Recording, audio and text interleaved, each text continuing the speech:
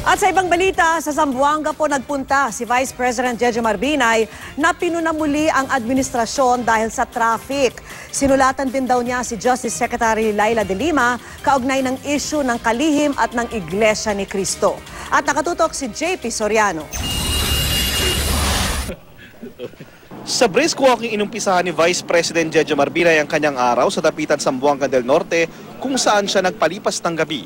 Matapos ito, nakasilamuha ang Vice Presidente sa mga kabrad niya mula sa Alpha Phi Omega Fraternity sa Dipolog City.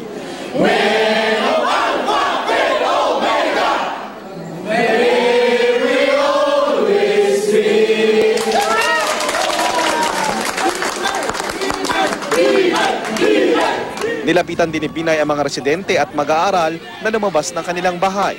Sa panayam kay Binay, tinanong siya tungkol sa protestang isinasagawa mula kahapon ng Iglesia ni Cristo. Sabi ni Binay, dapat daw mamayani ang separation of church and state. Sinulatan ng araw ni Binay dati si Justice Secretary Laila de Lima para tigilan ang mga umano'y pakikialam sa INC. Kaugnay ito ng personal na pag-aasikaso ni De Lima sa reklamong illegal detention laban sa ilang matataas na opisyal ng INC na inihain ng itinawalag na dati nitong opisyal na si Isaiah Samson. Respetuhin natin no, yung pagpuprotesta nila. Ha? Eh talagang sinisira ho. Eh. Ah, they have to protect their faith. Ah, at saka sinisira yung religious institution. Eh. Kinundi na rin ni Binay ang anyay lumalalang problema sa trapiko. Five years ka dyan. Ano, ba't, asa na? Hindi nyo ba pinag-aralan yan? Hindi nyo ba pinagandaan yan? Oh.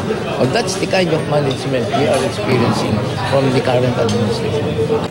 Pinuntahan ni Binay ang ilang barangay sa bayan ng Labangan sa Zamboanga del Sur para kausapin ang mga senior citizens at makipag-budel fight sa kanila.